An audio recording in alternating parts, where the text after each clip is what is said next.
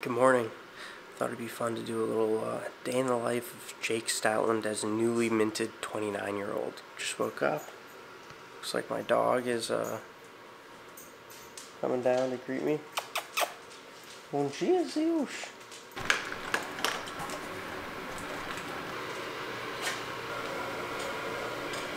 Just wrapped up a quick Peloton to uh, wake myself up and get the blood flowing. About to crush another water here. We're gonna get a little coffee and get our day started. This morning we have a 9.30 coffee with a broker who has a deal that I I like a lot. Pricing is just not where I need it to be right now, so checking in with him. And then at noon I have lunch with a classmate of mine who I did my MBA with. And then at 2 o'clock I have a call with somebody who does a lot of really good YouTube work. So Really excited about that call. This morning I want to jot down a few notes also before my coffee for that call.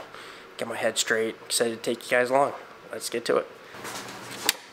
Waiting for the coffee to get warm. So just a few thoughts on the day, kind of what I want to accomplish. Kind of, uh, this normally I sit at my desk and write a little note. This morning I'm going to talk to the camera, so could be a new fun way to do this. Mainly at this 9, 9 o'clock coffee, I want to find out where the broker is with this deal. I know the area really well. I think long term it's a great asset, but short term it's going to be a bit turbulent. There's a ton of supply coming online, and that worries me. And that's impacting the price I can pay for the property. From the seller's perspective, they think it shouldn't, which that is fair. They've built a great asset. This is a really nice property. So trying to figure out where that strike price is, and then really just figure out what else he's working on. It's the beginning of 2024. People are excited. 2023 was not a good year for commercial real estate brokerage specifically.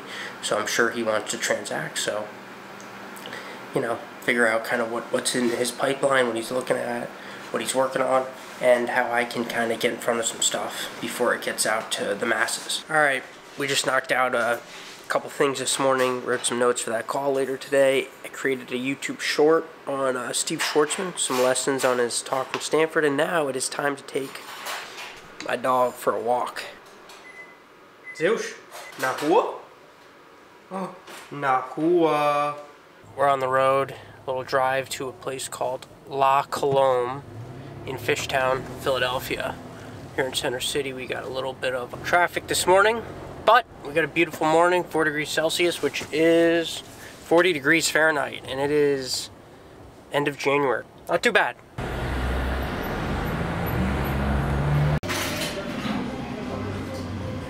Just wrapped up a little coffee, got some good intel.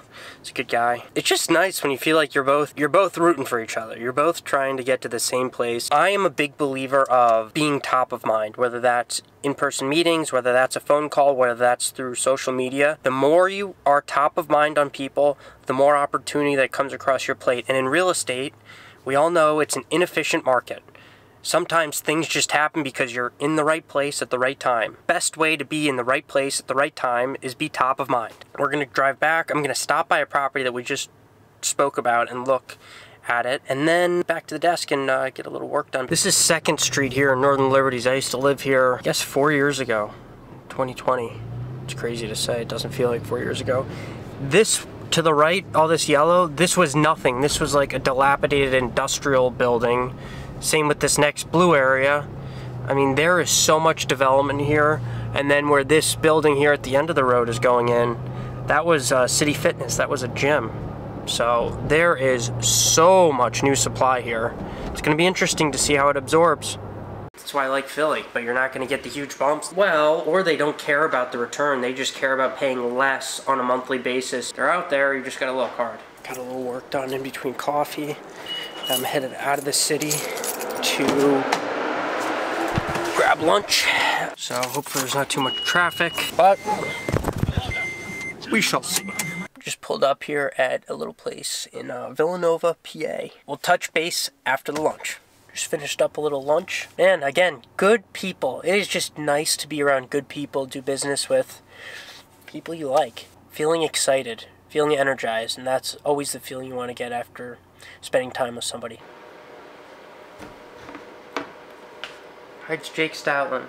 Usually the best way to figure out who knows what they're doing is just watch content. When it comes to researching or going to create a short, 348 just wrapped up uh, my call from 3 to 330 another very good call grateful to have people that are willing to share their expertise with me so got a new strategy for youtube pretty much I'm gonna do the things I love that give me energy, and that's gonna shine through in the videos. And that's what we're doing right now. No, just kidding, I don't have that much energy about this. You know, it's four o'clock, I'm going to wrap up a few more things, but just wanted to share a few kind of thoughts from today. Price improvement, still, we're in 2024 and those are still words that are being spoken. I remember when that started in late 2022 and people were laughing, ah, this is hilarious. Well, it's still here.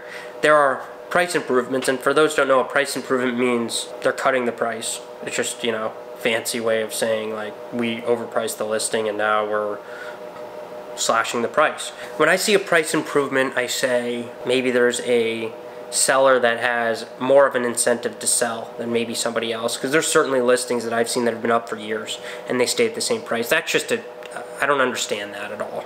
So I'm feeling. I met with three people today, three really good people, three people that took time out of their day to talk with me, exchange ideas. When you surround yourself with great people and you have people that are all cheering for you, life is just better. And I would urge everybody find those people. The world can be yours. You just need to go take advantage of it. And I find that the more I have a target of where I'm going with actual tasks on the road to that target, the more efficient and the better of a professional I am. Find that target and create those checkpoints to get there. It's my advice for today. 621, just finished up analyzing a few deals, and I think it's about time I call it a night with the work. Gonna get